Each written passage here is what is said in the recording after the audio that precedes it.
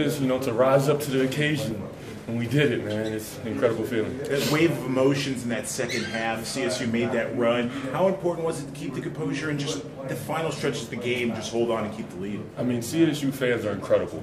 I mean, they were so loud. I mean, they're the ones that made it tough for us to stay focused. But I mean, Coach Shy, he led us the whole way, um, and our team just stayed focused on the end goal.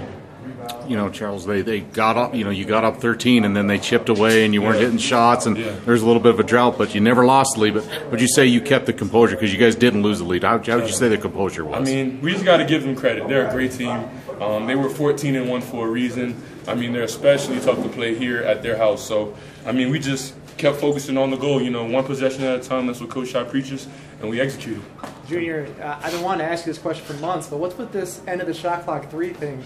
It seems like you know your money, time running out, end of the shot clock. What do you, how do you explain that? I mean, I just, I just love when my teammates trust me to, you know, to be in those positions.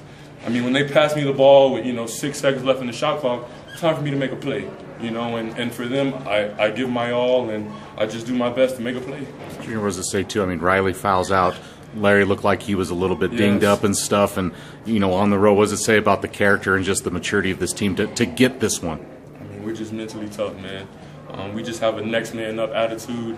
Um, everybody works hard, everybody practices hard because you never know what can happen. Um, Riley got in foul trouble, next man up, rose up. J- Jason McManamen, player of the game, man. That was incredible. Great performance. You mentioned the crowd here at Moby.